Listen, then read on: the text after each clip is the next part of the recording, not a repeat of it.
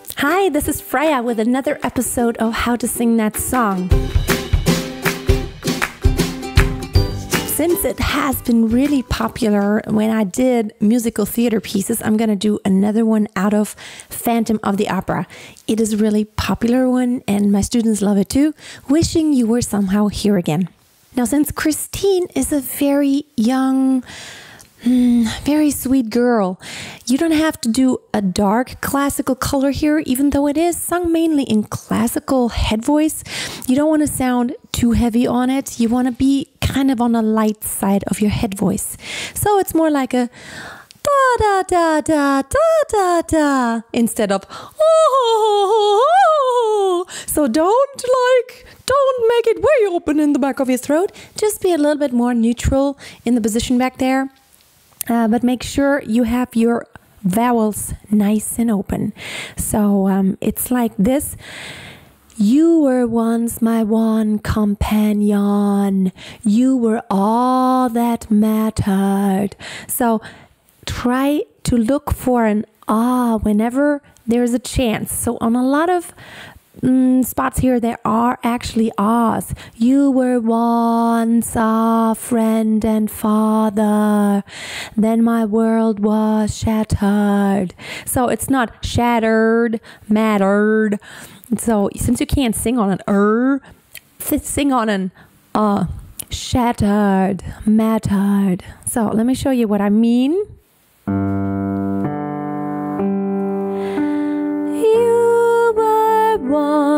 Once my one companion. You were all that mattered. You were once a friend and father. Then my world was shattered. So, and also make sure that you're D at the end, your ED ending, like mattered and shattered, that it's actually a really nice D. Mattered, shattered. So nice and uh, very obvious D. Another thing you may have noticed, it's very important to start the pitch direct. It starts on a U twice, U, and then even later it starts on wishing. So technically, these are actually vowels. So it's a e and it's a ooh wishing you. So start directly. Don't pull it up. Don't go like you were once, but start very direct. The ye is the is the pitch already that you want to hit. It doesn't start on the ooh, not you, but you. And now when it goes on, uh, shattered, wishing you were somehow here again. Again, very open, stay light, and it needs to be very legato here which means you should imagine it was as if it were one long pitch, like one long bell. Wishing you were somehow here again. Don't interrupt the flow of the voice. Wishing you were somehow near. Sometimes it seemed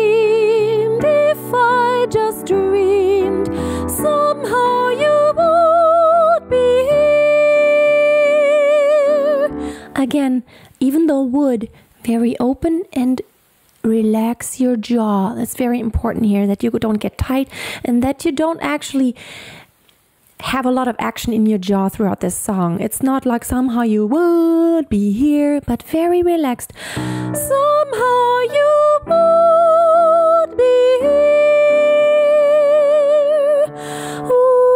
wishing I could hear. Not your, your, your voice again,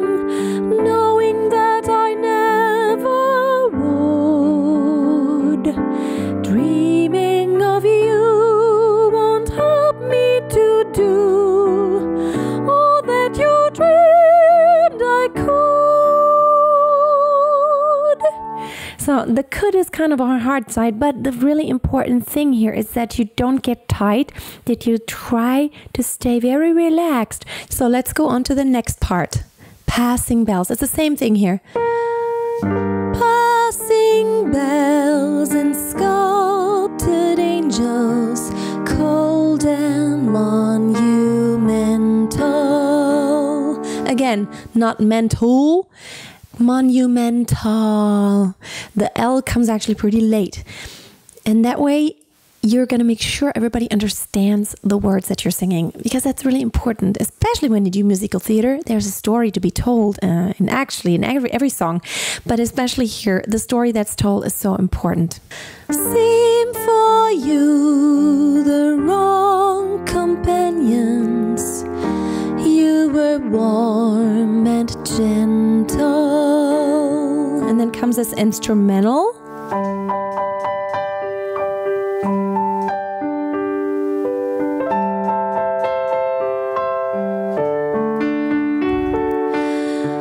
Too many years fighting back tears. Why can't the past just die?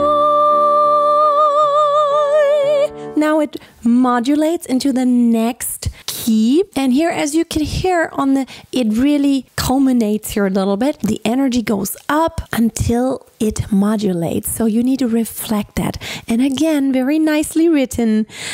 Why can't the past just die? And it's nice that it's an ah on that top note here. Die. So you can make a nice crescendo on that, which means getting louder and then you stay on the same pitch and you go on wishing you were somehow here again knowing we must say goodbye. Try to forgive. Teach me to love. Give me the strength to try. Again make sure you stay kind of on the light but don't get breathy. And it's really dangerous here to get breathy because, especially on those E's here, teach me to love, give me the strength to try. It's an E. How you do how do you sing an E on such a high pitch? Let me demonstrate how the E changes as you go up. Let's just kind of do an octave. I'm to start down here. See how my E gets more and more open, but I leave my jaw very relaxed and I just give it a little bit more space. But basically, I'm never stopping to think of an E. I'm always thinking E, and I'm not thinking a wide E, but I'm just thinking E in there, giving it more and more space, but it still stays an E. E.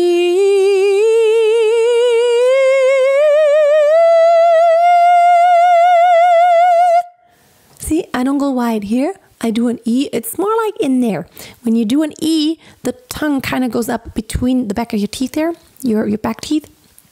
And it doesn't actually go all the way up. Like in the front, it lies there very relaxed.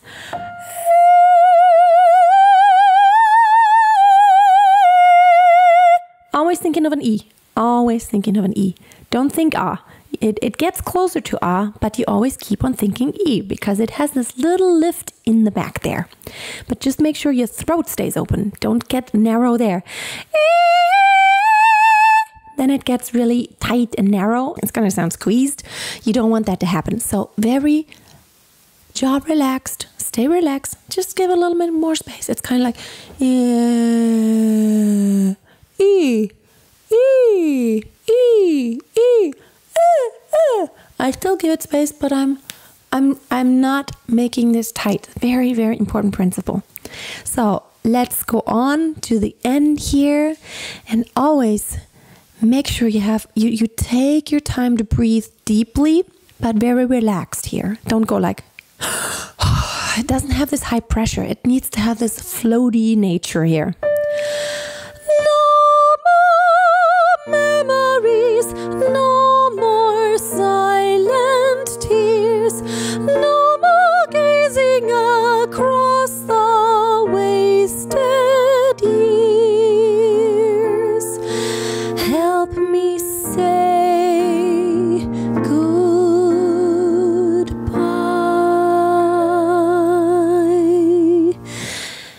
Again, here, it is head voicey most of the time, but when you go to the lower areas there, like at the end here, help me say, that's really not in head voice anymore. It would be too classical. Help me say goodbye. You don't want to sound that huge there. You want to sound light, like a nice young girl, right? Very delicate.